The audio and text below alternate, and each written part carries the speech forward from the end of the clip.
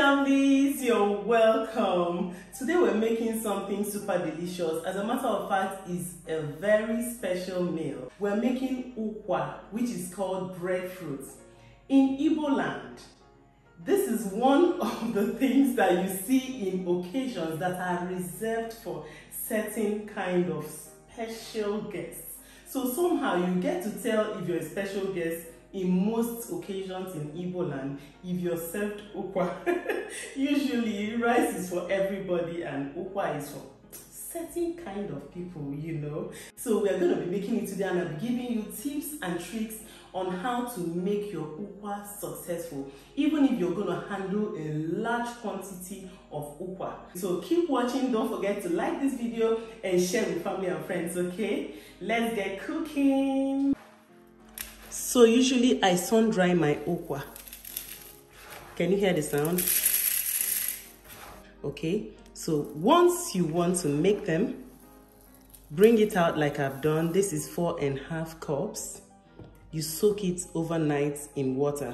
But even if you can't wait overnight, one, two hours should do. So here is the one I have soaked. You can see the difference, right? So I'll be washing the spirit, soul and body of these breadfruits.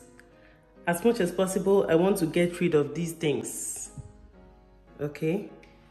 And I want to get rid of any stone whatsoever.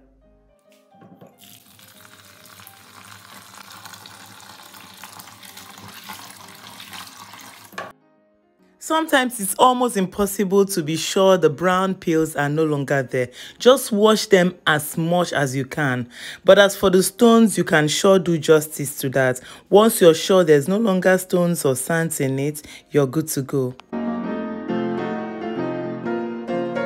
Here comes the first tip.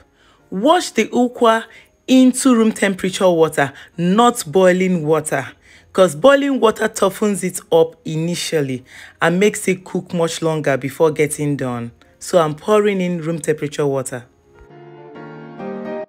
So quickly, let's have a look at the ingredients. We have our chopped onion, the seasoning cube, scotch bonnet, crayfish, palm oil, the salt, and finally our smoked catfish. But for the ukwa to cook initially, we're going to pour in the chopped onions and the seasoning cubes.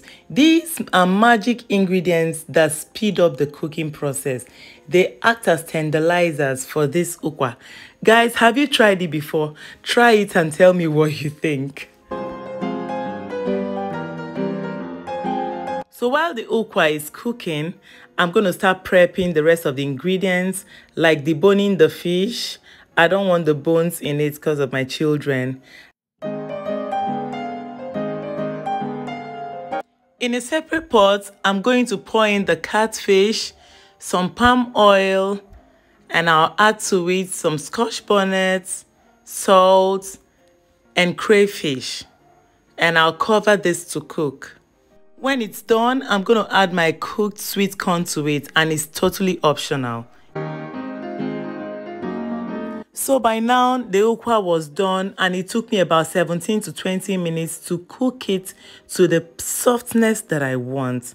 See guys, if your ukwa is not super super done, then it can never be delicious. Ukwa has to be so so done. So now that it's done, I'm transferring it into the spot where I have my fish and the sweet corn and look at the porridge already forming guys.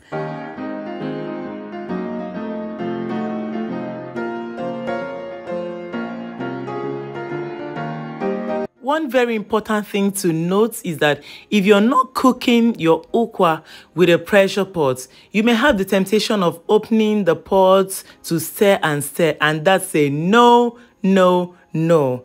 Until it's perfectly cooked, do not turn because once you turn it, it begins to burn and it may not cook any further, okay? If you found value in this video, please subscribe to my channel if you've not subscribed already and click on the like button. I'd love to see your thumbs up.